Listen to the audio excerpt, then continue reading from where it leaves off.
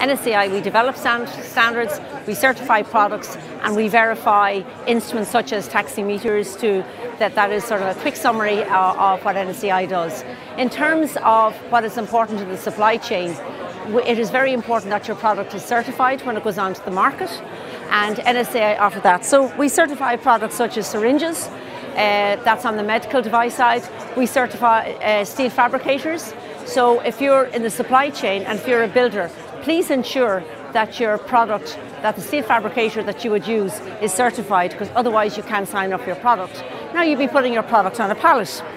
This is a pallet here, for example, and the pallet, a wooden pallet, uh, post-Brexit, must have this stamp on it which states that it is um, of good quality timber.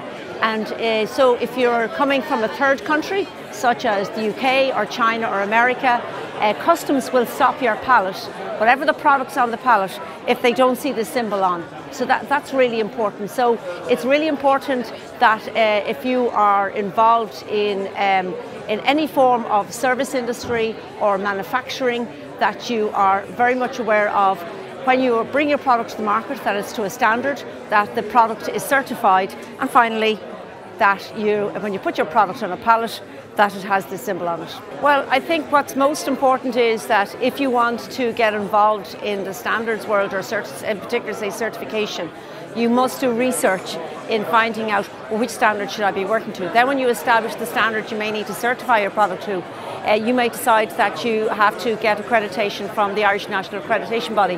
That costs money. That, that, that's not, not cheap. And you may have to maybe use, uh, if you are exporting or importing your products, you may need to use a customs agent. So that all costs money. So at every step of the way, uh, there will be a cost. So Brexit uh, comes with the cost.